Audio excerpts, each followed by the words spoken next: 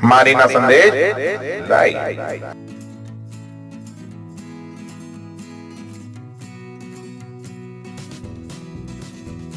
स्वागत है आपका मारीना संदेश लाइव में मैं उफात काजमी और आप देख रहे हैं देश का तेज़ी से बढ़ता यूट्यूब चैनल खबर उत्तर प्रदेश के जनपद गाजीपुर से मेहताब आलम की रिपोर्ट है। बताने चले आपको कि 26 तारीख को एडीजी द्वारा सैदपुर कोतवाल को किया गया निलंबित।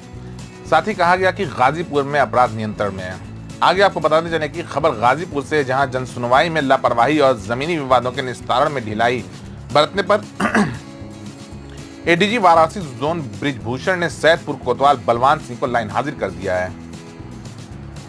मालूम हो कि एडीजी सोमवार को गाजीपुर में कानून व्यवस्था के बाबत समीक्षा करने पहुँचे थे। इस दौरान उन्होंने सैदपुर, कोतवाली का निरीक्षण भी किया, जहाँ पर जन सुनवाई में लापरवाही और जमीनी विवादों को निस्तारण में ढिलाई पाए जाने पर कोतवाल पर सख्त कार्रवाई करते हुए लाइन हाजिर कर दिया गया।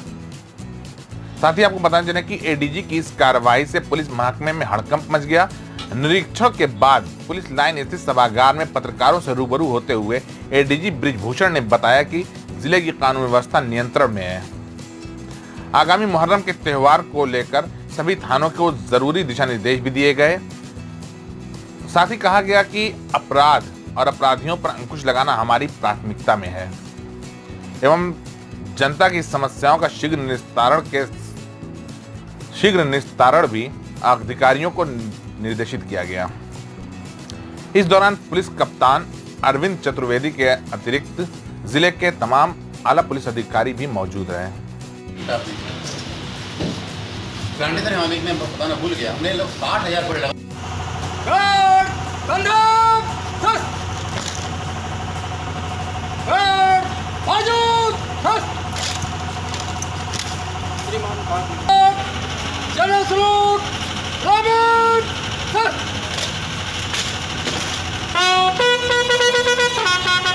जो हमने मुख्य रूप से फोकस किया, जन शिकायतों के डिस्पोजल पर। सर शासन के आदेश भी हैं कि मेरी सर, सारे अधिकारी उनसे ग्यारह बैठेंगे। टाइमली विद गुणवत्ता के साथ डिस्पोजल करेंगे। यहाँ आने के पहले मैंने थाने का मायना भी किया था सारा सैदपुर का मायना भी किया था। वहाँ भी मैंने जन शिकायतों का डिस्पोजल भूमि संबंधी विभाग का डिस्पोजल चौथे अपराधी का कार्रवाई और थाने प्रांगण का रख रखाव।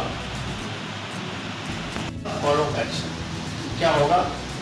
यदि पहले से उनको हिस्ट्री है और पर था तो पुराने केस में बेल कैंसिल करा। हम अक्सर नहीं कराते।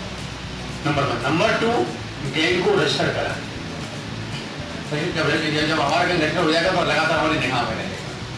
तीसरा गैंगस्टर लगवाएँ पैरवी करके सजा कराएँ ये अभी सारी कार्रवाइयाँ होंगी। अपराधी पर नियंत्रण रहता है। अपराधी बेल से कब छूट रहा है? हमने ये भी कहा तो हमारी निगरानी रहनी चाहिए कि कौन अपराध, जब बेल होती है, थाने पूछना आती है। बेल बॉन्ड का वेरिफिकेशन आता है।